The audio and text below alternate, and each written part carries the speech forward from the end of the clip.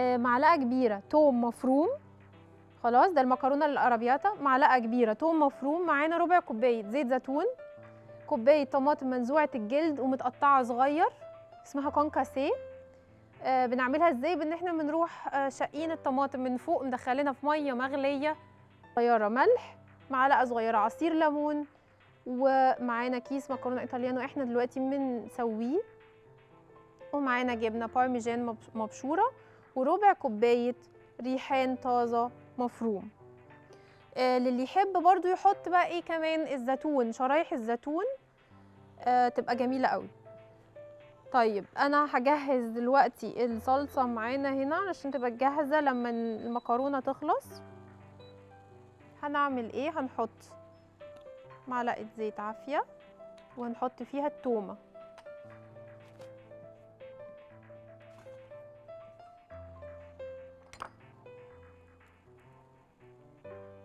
بس تشويحة كده وبعدين هنزل فيها أول حاجة الصلصة. أقدر أقول لكم بقى دلوقتي على ما ده يخلص عشان الموضوع سهل قوي هقول لكم بقى على السيزر بدل ما بنبقى فاكرين إن إحنا عاملين دايت بحط بس هنا بقى الصلصة. مهم جدا الصلصة دايما تشم النار علشان إيه؟ ما تبقاش طعمها ني.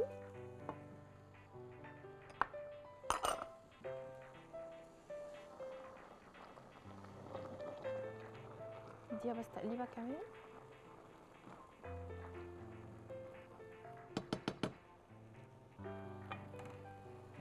خلاص لما هشوحها تشويحة كده أروح مزودة بقى عليها الطماطم هقول لكم أنا بقى في الوقت ده على المقادير بقى للسيزر سالاد. السيزر سالاد معانا خس.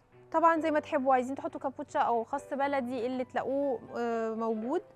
معانا آه، الفراخ المشوية اتنين في فيليه أو حسب المقاس الطبق اللي أنتوا عايزين تعملوه.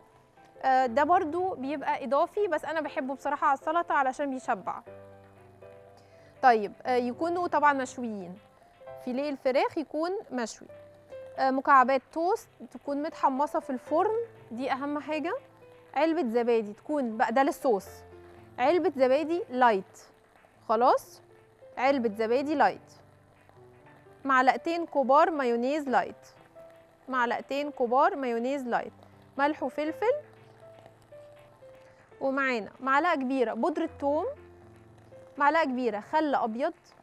معلقة صغيرة عسل أبيض. بصوا ما تشيلوش العسل بجد بتفرق كتير قوي في الطعم. معلقة كبيرة أنشوجة مهروسة. ومعلقتين كبار جبنة بارميجان مفرومين. يبقى معلقتين كبار مش أكتر. عشان نحافظ على إنها تفضل لايت طيب أنا كده الصلصة خلاص. نبتدي بقى نحط الطماطم. طماطم الكونكاسيه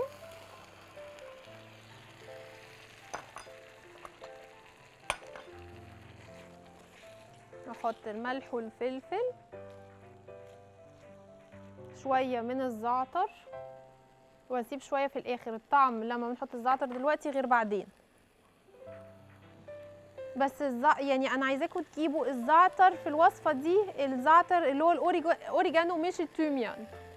في ال thyme اللي هو بيبقى آه، طع- طعمه قوي أكتر كتير قوي عن الأوريجانو. فهتلاقوا ده مسميات الزعتر مكتوبة في السوبر ماركت.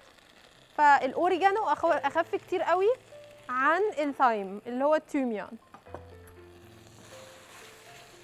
المجفف والثايم بيبقى بري. آه، بيبقى آه، حاد جدا في الطعم. حتى لما بعمله مع الأطفال مش بي مش بيحبوه زي الأوريجانو. مع إن هما نوعين يعني هما زعتر بس نوعين مختلفين. طيب آخر حاجة أحطها العسل والجبنة دي برضو هتخش آخر حاجة. وآخر حاجة خالص بقى معايا ال- الريحان. آه، زيت الزيتون برضو بحب أحطه في الآخر. وعصير الليمون دي الحاجات اللي أنا هحطها كلها في الآخر. نبتدي بقى نجهز ال- السيزر سالاد. الحاجة جاهزة معايا. أنا أفضل نروح الأول لفاصل وبعدين آه نرجع نعمل السيزر سالاد. وعلشان بقى إيه نلحق سارة تيجي إن شاء الله معايا آه تقدم لنا الكيكة بتاعتها. أشوفكم بعد الفاصل. عشان تفك معايا وتدينا الطعم الحلو. نبتدي بقى نعمل السيزر سالاد. السيزر سالاد إحنا قلنا المقادير آه قبل الفاصل. هبتدي. آخر. معلقة الليمون بتساعد على امتصاص كل حاجة أصلا. بس كده. وتقليبة. وننزل المكرونة وهي لسه فيها شوية مية. شوف بس هاخد قد إيه بقى. واحدة واحدة. بحب دايما الصلصة تبقى أكتر بس أنتوا تتحكموا براحتكم.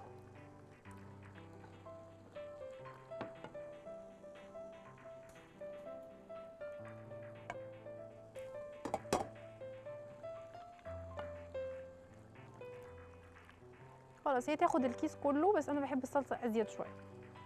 فيعني ما فاضلش غير مغرفة واحدة من المكرونة. حلو قوي كده ننزل بقى فيها معلقة العسل. أو كان ممكن قبل ما ننزل مكرونة على طول.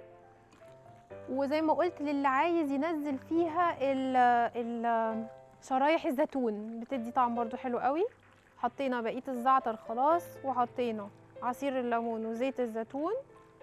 دي كده جاهزة معايا. آخر حاجة أحطها هغرف وأحط عليها الريحان والجبنة. نوسع بس مكان كده نحط دي قدام.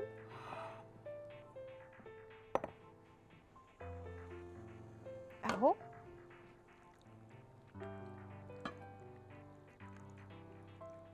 مش عايزة أقول لكم مفيدة قد إيه الصلصة دي.